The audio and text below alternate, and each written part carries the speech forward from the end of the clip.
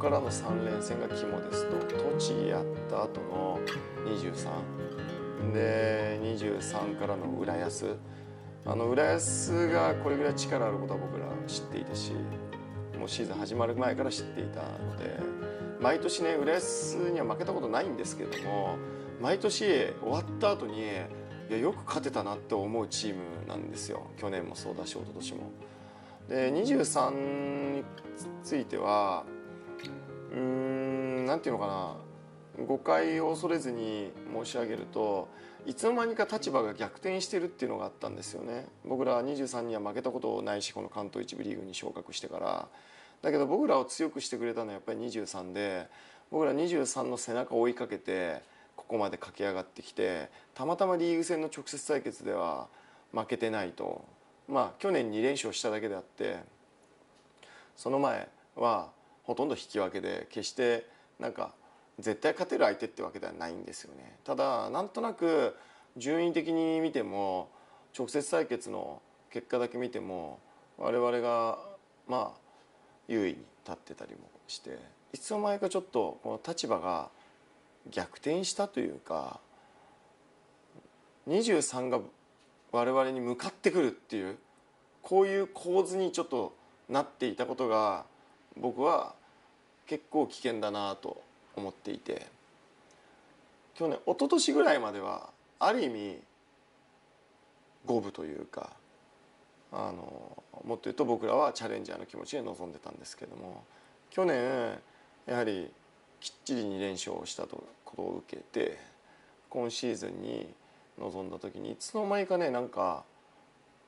うん23がチャレンジャーになってるような気がしてるのが僕はすごい嫌だったんですよね。そういう中で栃木に負けた後まあ23に勝てばいいやっていう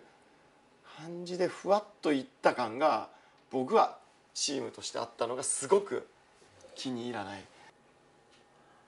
まあ負けるべくして負けたっていう感じでありますけどねその前の週のトレーニングマッチを見てもそうだしその1週間の過ごし方？1週間のトレーニングの雰囲気見ても、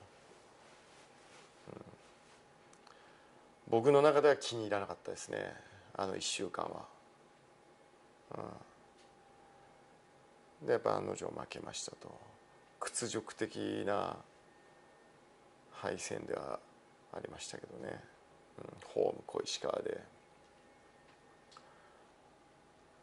でまあ僕は常々言ってますけど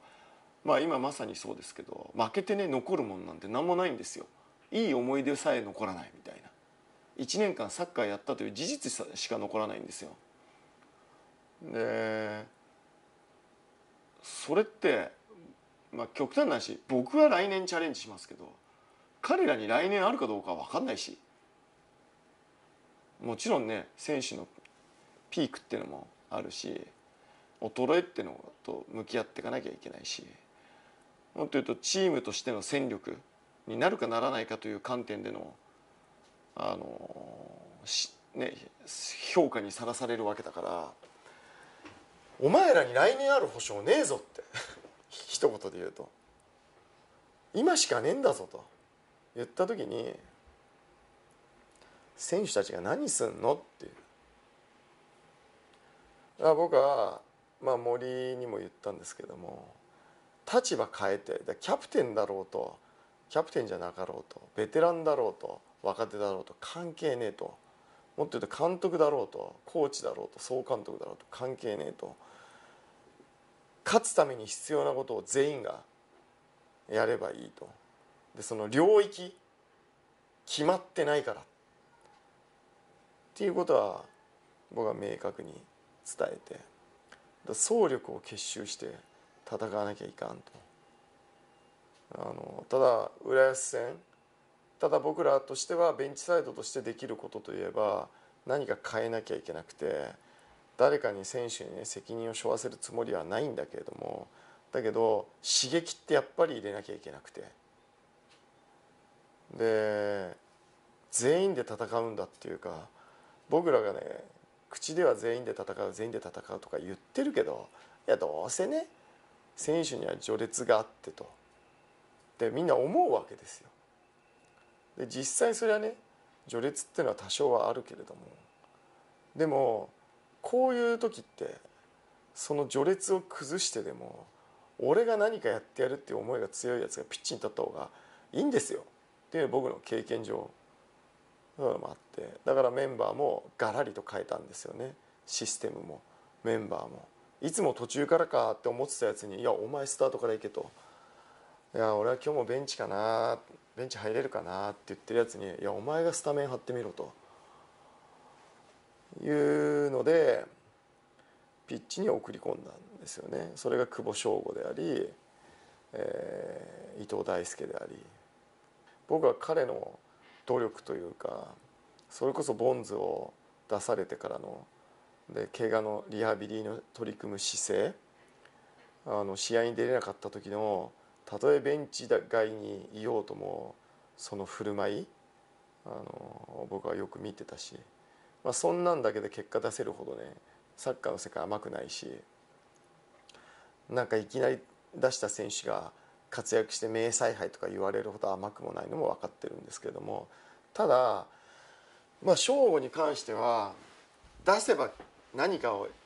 なんかチームのために何かはするだろうっていうふうにまあ思えた選手では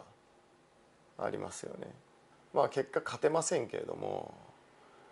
でもあの試合で浦安に負けてたらもう勝ち点3開いてたあ7開いてたからある意味もう崖っぷちの崖っぷちだったんですよねあの試合が。そこにかける僕のまあなんていうんですか危機感というかは半端なものじゃなかったし、うん、そこでその、まあ、博打って言ったら彼らに失礼だけども十分に信頼関係がある中でのチョイスでしたけどね。うん、まあなのでそういう意味では僕は勝てはしなかったけどいいゲームだったとは思うんです、うん。まあ、菊池翔太を失ったっていうのはでかかったですけどね。あの試合で。でも久保翔がよう頑張ってくれたというふうには思って。で引き分けて踏みとどまりましたと。